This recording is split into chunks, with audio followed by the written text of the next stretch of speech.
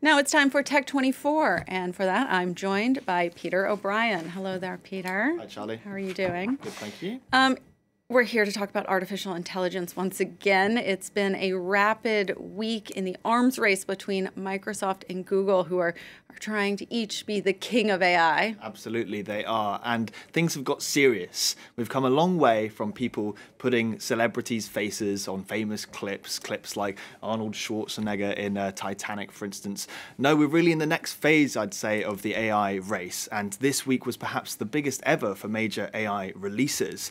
Um, the latest latest, one of the latest on Thursday was when Microsoft released, um, unveiled Copilot, which will essentially do your work for you. It'll integrate into Microsoft's uh, Office suite. So, for instance, PowerPoint presentations, you can just ask Copilot, I want it to look like this. It will make it for you. Excel, it will work out your calculations and visualize them for you. Word, you can simply give it a prompt and it will write whatever, draft whatever Word documents you're writing. Teams, it will sit in a meeting with you and take notes, so no one has to take notes in a meeting. And it also they also unveiled something called Business Chat, which allows um, these apps to be kind of connected together with AI. So, for instance, if you're running a small business and you've got people um, texting, uh, chatting on Teams, uh, calling, uh, emails as well. You can say at the end of the day, I just want a summary of everything that's been said, and it will do that for you. But it wasn't the first to the punch. Google got there two days earlier, releasing its own, uh, unveiling its own AI productivity suite, which does much the same thing. For instance, Magic Wand for text composition is going to do very much the same thing for um, uh, for Google Docs, plus a range of tools for business customers. So we're really now seeing that the release of OpenAI's ChatGPT in November was a, a, watershed moment, and it spurred these companies on to really be after after the, the, the as you say, the, the, the, throne of this this AI um, power.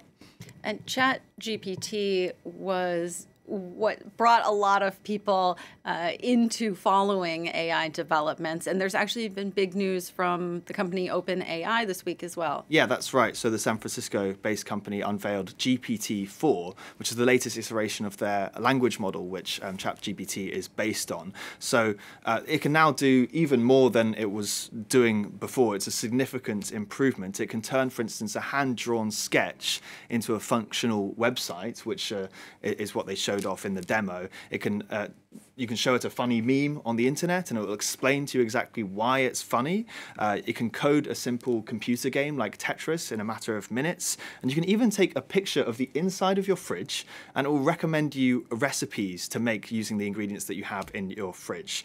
Um, it was also put through a bunch of rigorous higher education exams and did much better in most of them than the previous iteration chat, uh, previous iteration uh, GPT 3.5 did.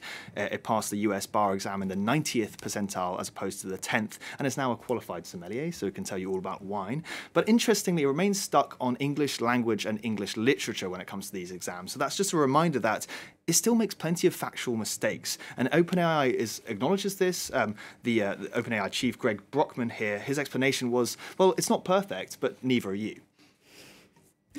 Now, Chinese tech companies wanting to get in on this as well, uh, notably Baidu. Tell us yeah, so uh, on Thursday, Baidu uh, launched Ernie, its highly anticipated response to these American offerings. And the launch did not go down well. They only showed um, recorded demos rather than live demos.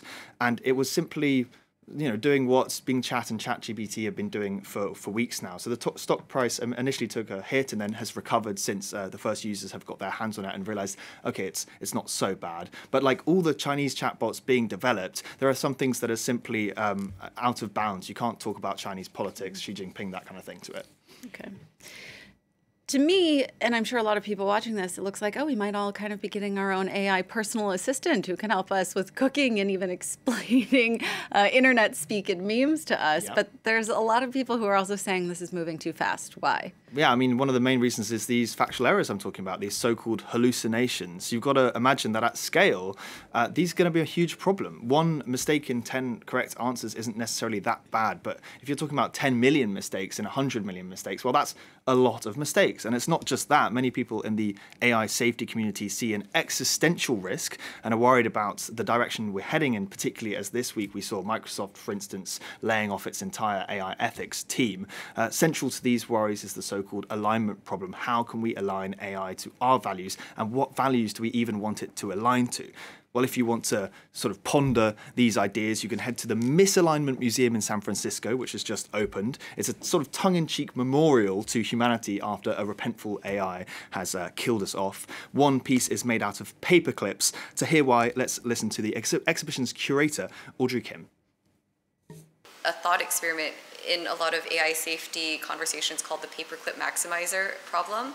And it's this idea that if an artificial intelligence is programmed to create paperclips, and as it gets more and more developed and more powerful, it might stay focused on that single optimizing point and potentially destroy most of humanity at the world to just keep making more paperclips.